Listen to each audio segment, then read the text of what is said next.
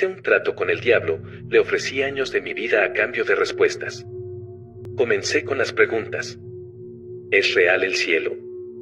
Claro, tan real como lo es el infierno. ¿Quiénes irán al cielo? Todo aquel a quien Dios debe tener ahí. ¿Le temes a Dios?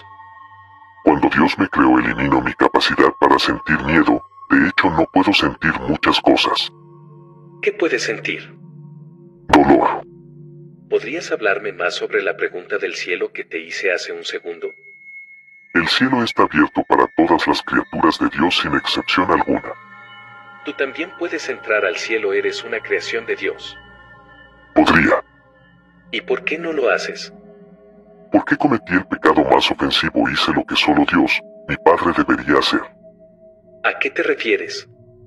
Creé mis ángeles a mi imagen y semejanza. Esa culpa recaí en mí.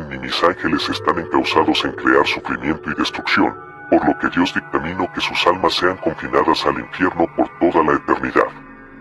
¿Tus ángeles? ¿Hablas de los demonios? Así es. Además, no podré irme al cielo sin mis creaciones, ellos se quedarían sufriendo aquí.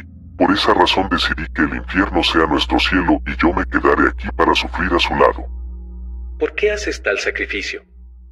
Los ángeles son más cercanos que un hijo.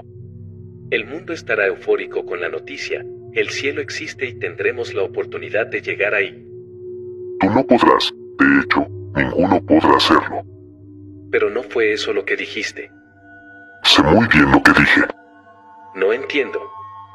A diferencia de los animales, las plantas y todo en este mundo, ustedes no son una creación de Dios, son una creación mía.